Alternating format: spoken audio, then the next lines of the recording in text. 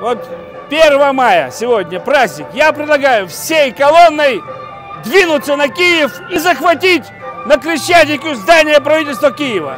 Я организую роту спецназа, туда входим на законных основаниях, объявляем правительство в Луганск и ДНР и просим ввести военные базы.